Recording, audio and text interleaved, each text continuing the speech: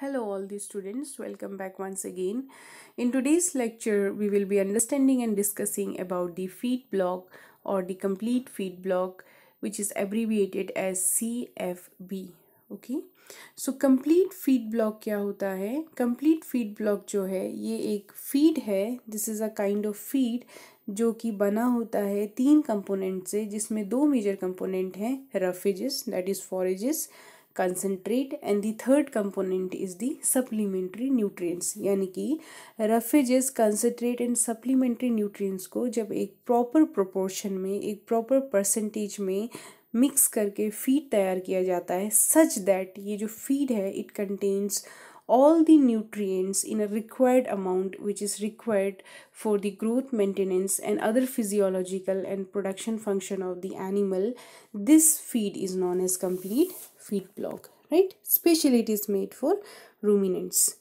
ये जो complete feed block है ये अलग अलग शेप्स में अलग अलग साइजेस में एंड अलग अलग वेट में जो है अवेलेबल है फ़र्स्ट में मैंने इनिशियली आपको जो शो किया था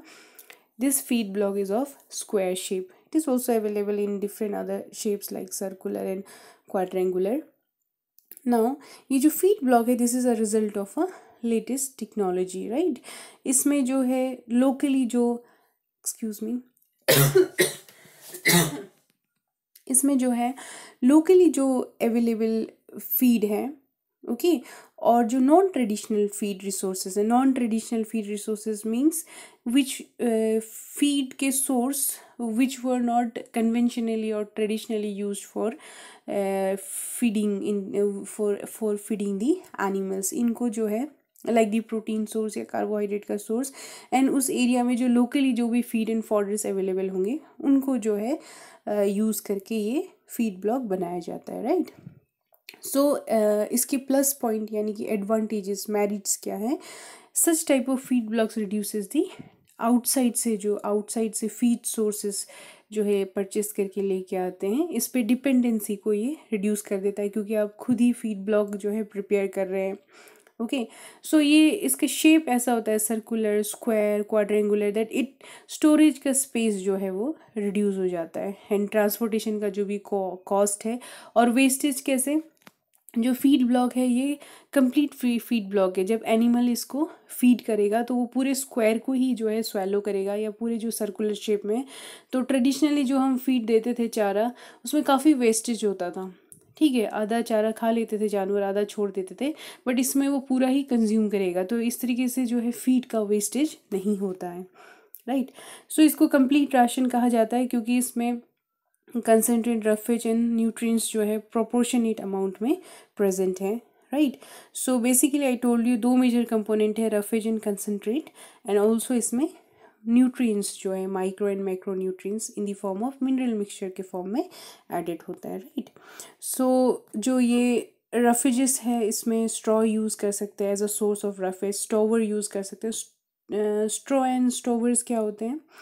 जो सीरियल प्लांट है आफ्टर हार्वेस्टिंग उनमें से ग्रेन्स को जब हार्वेस्ट कर दिया जाता है इन द फ़ील्ड जो लीव्स एंड जो स्टाल्क रह जाते हैं लेफ़्ट ओवर द रेसिड्यू उनको यूज़ किया जाता है for as a source of feed to the animal this is called as the straw and stovers right so grass is also a source grass को use कर सकते हैं tree के leaves को यूज़ कर सकते हैं as a source of roughage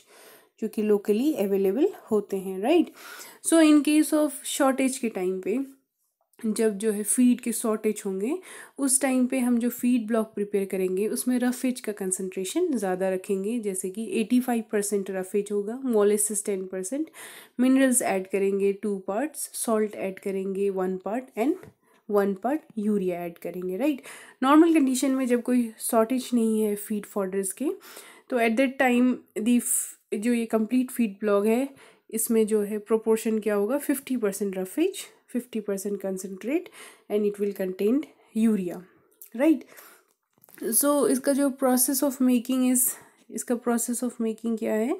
कि जो इंग्रेडिएंट है फ़ीड ब्लॉक इसके, इसमें जो कंसनट्रेट है, जो कंसनट्रेट है, इसको ग्राइंड किया जाता है और जो रफेजेस है, उसको चेफ किया जाता है। फिर इस मिक्सचर को प्रॉपरली इस इंग्रेडिएंट को मिक्स किया जाता है, ठीक है? फिर इसमें मोलिसिस ऐड करेंगे, जो कि सोर्स ऑफ़ एनर्जी का जो है it's a source of energy also binder जो है, इनको बाइंड करने में जो है, इसकी प्रॉपर्टी होती है binding property so it's act also a binder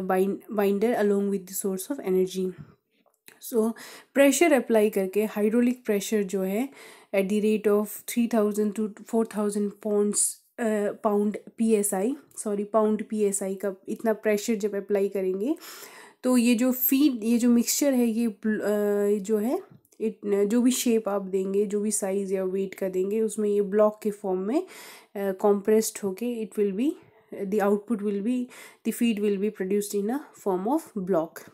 right so next जो है, जब ये कॉम्प्रेस्ड आपने कर दिया, उसके बाद जो ये ये जो व्हाट वी कॉल ये जो ब्लॉक मील है इसके शटर को you will open it okay इसको लिफ्ट करेंगे तो जो ब्लॉक बन चुका है it will come ahead and then it will be collected and stored at a proper place right so इसको आप इसका साइज़ सच होता है कि एज सच एनिमल को जो है ऑफ़र किया जाएगा। As a source in their diet इसको ब्रेक नहीं करेंगे। छोटे छोटे पीसेस में तोड़ेंगे नहीं। एज सच इस ब्लॉक को will be offer to the animal in its diet so इसके एडवांटेजेस क्या है? इसमें न्यूट्रिएंट जो है रिक्वायर्ड अमाउंट में प्रेजेंट होता है। Okay wastage I have explain you wastage को रिड्यूस करता है, ये स्टोरेज स्पेस कम ट्रांसपोर्टेशन कॉस्ट रिड्यूस करता है। इससे जो methane in one of the lecture I have told you methane के प्रोडक्शन के लिए जो है एनर्जी यूज़ होती है ज़्यादा से ज़्यादा। तो हम फ़ीड एडिटिव्स में we we use to add the this methane inhibitors तो मीथेन का प्रोडक्शन ये रिड्यूस करता है। This improves the production and productivity of the animal and cost of production is also reduced so basically जो complete feed block है जो normally हम provide uh, करते हैं कॉमन uh, जो फ़ीड उस उसके कंपैरिजन में इसमें जो न्यूट्रिएंट है वो कंपैरेटिवली हायर परसेंटेज में अवेलेबल होता है right so that's it thank you